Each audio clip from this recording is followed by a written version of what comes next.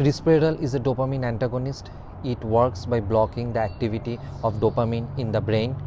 It can be used at dosage starting from 0.25 mg to a maximum of 6 mg in children. One of the common side effects of risperidone is sedation and fatigue. It is better to take them in the evening or before sleep. Other side effects of risperidone can be constipation, abdominal pain, headache. Risperidone can also cause weight gain. This increased weight gain in children can put them at increased risk for diabetes, hypertension, hypercholesterolemia.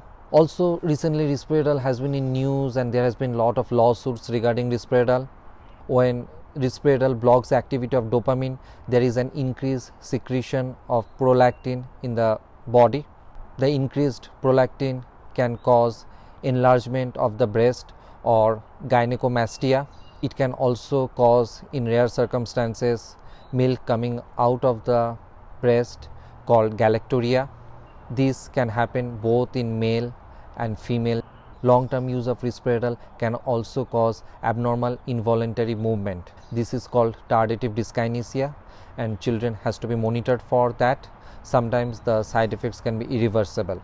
Long term use of risperidone can cause elevated blood sugar and elevated lipids.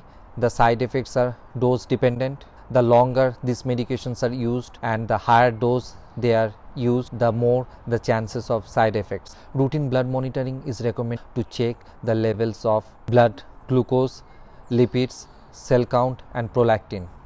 It is also essential to watch for weight gain as children tend to gain more weight than adults and this puts them at risk for diabetes, hypertension and hypercholesterolemia.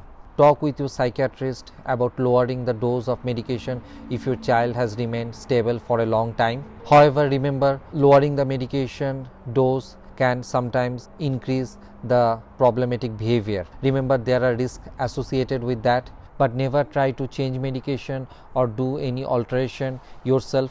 Always take professional help